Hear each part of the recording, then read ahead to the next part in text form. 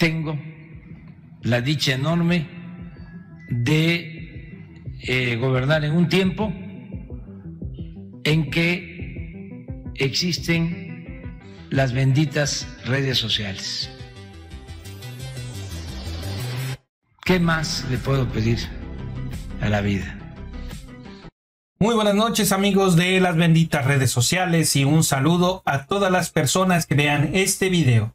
Pues amigos, el día de hoy nos encontramos a 6 de diciembre del 2023. A estas alturas, la mayoría de los ciudadanos en México ya saben acerca de la detención de Alfredo Jalife, esto por una denuncia eh, presentada por Tatiana Cloutier. Y resulta que Claudia Sheinbaum pues ya dio su punto de vista en torno a esta situación. También quien ya se pronunció a través de las redes sociales y con video fue Tatiana Cloutier, la cual pues señala lo siguiente. El 6 de octubre del año 2022 renuncié a la Secretaría de Economía de este país. Algunos meses después, es decir, en diciembre del mismo año 2022, denuncié al doctor Jalife por difamación, calumnia y todo lo que se le agregue. Es interesante que hoy quieran asociar cosas que no tienen nada que ver. Este fue un proceso que como mexicana y como persona que ha cuidado su buen nombre, ha hecho todo lo posible porque no se difame y no se usen las cosas en contra de lo que no debe ser. Lo único con lo que cuento es con lo que he construido a lo largo y a lo ancho de mi vida. He cuidado y seguiré cuidando que a México le vaya bien y no tengo ningún interés más de construir una mejor patria. He vivido con mi marido, con mis hijos en, en la ciudad de Monterrey, Nuevo León, y ahí es donde he estado durante todo este tiempo los tiempos de la justicia, los tiempos de cómo camina la justicia en este país y en el estado de Nuevo León son los propios. No pongan lo que no es donde no tiene que ser y esto es lo que realmente ha pasado. Respeto el Estado de Derecho y acataré siempre lo que el mismo resuelva en favor o en contra de lo que tenga que resolver en este caso. Bueno, ese fue el primer video que sacó Tatiana Cloutier eh, hablando en referencia a la detención de Alfredo Jalife. Pero en las redes sociales, pues la verdad, yo les había dicho en un video anterior que se iba a armar pues todo un tema de conversación. Hay personas que apoyan a la 4T que se manifiestan en contra de la detención de Alfredo Jalife, otros que la apoyan.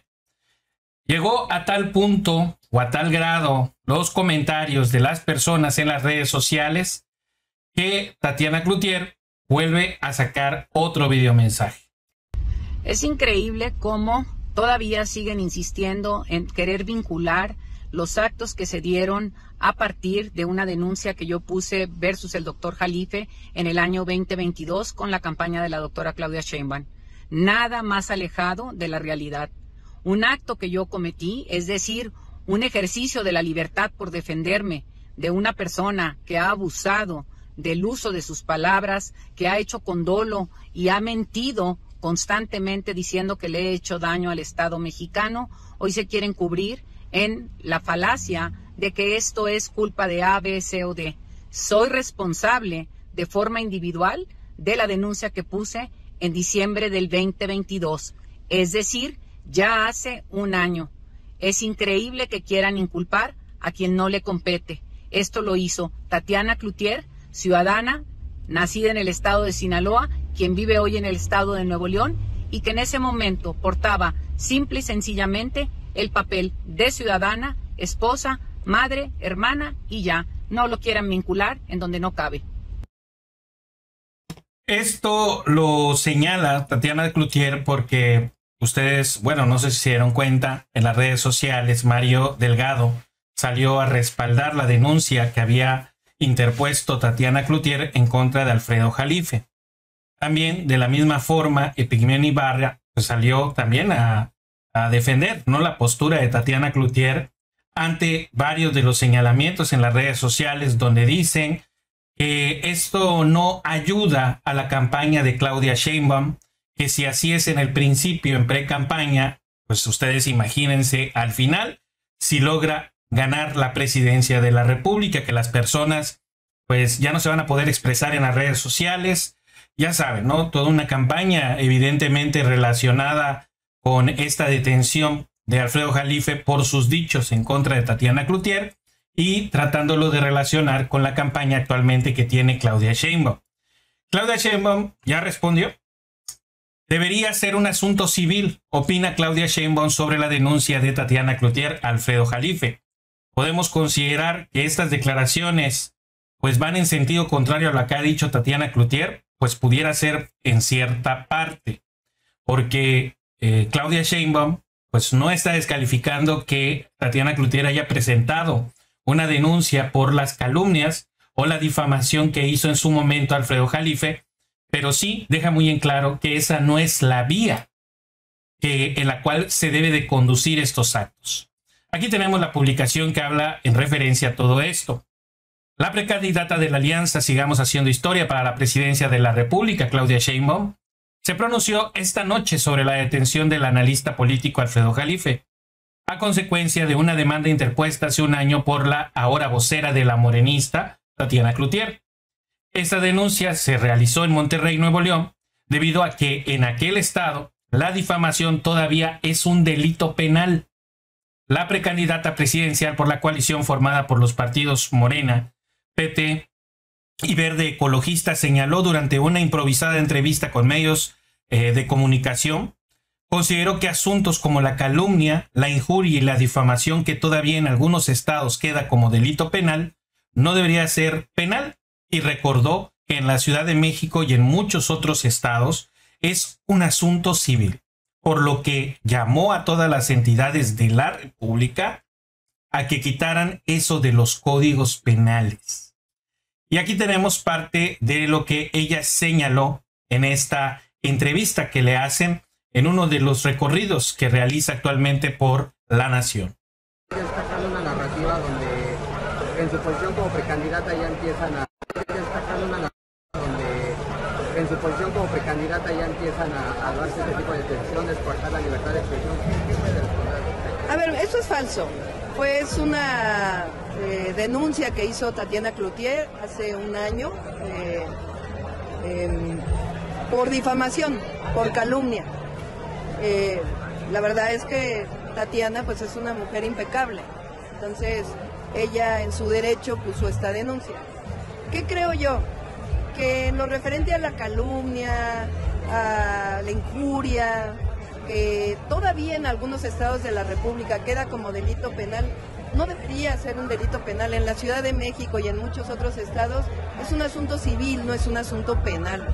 Entonces, eh, no creo pues que esto sea de carácter penal eh, y en todo caso pues eh, llamaría a todas las entidades de la República a que quitaran eso de los códigos penales y que fuera en todo caso un asunto civil. Yo siempre he creído en la libertad de expresión y también creo en que debe haber opiniones responsables, que no debe haber difamaciones.